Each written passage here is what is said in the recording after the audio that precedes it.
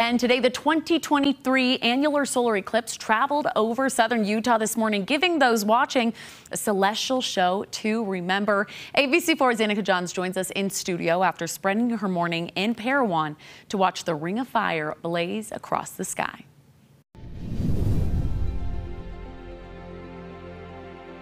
Today, Utahns experienced an annular eclipse where the moon covered 90% of the sun. And for those in southern Utah, it was hard to look away.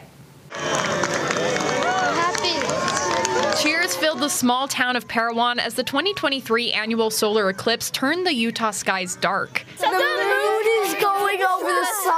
We just saw, what we see, guys? The, the ring of fire. The ring of fire.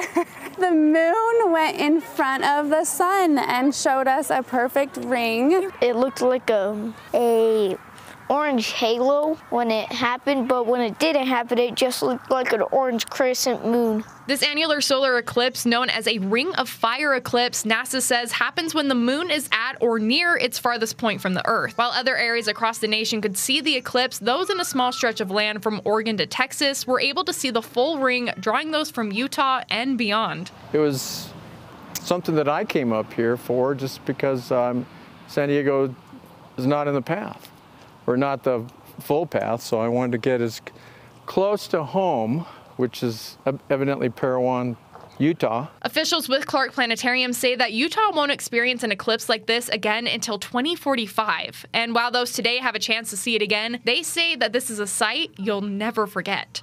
Well, take the opportunity to go find a path of an eclipse and witness it at least once. I think you get to see it like, well, I mean, I think it happens like twice a year or something, but only once every 20 or so years in Utah. So yes, recommend seeing it again.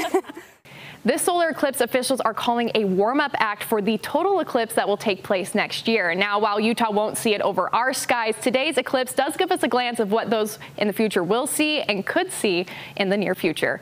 Back to you at the desk.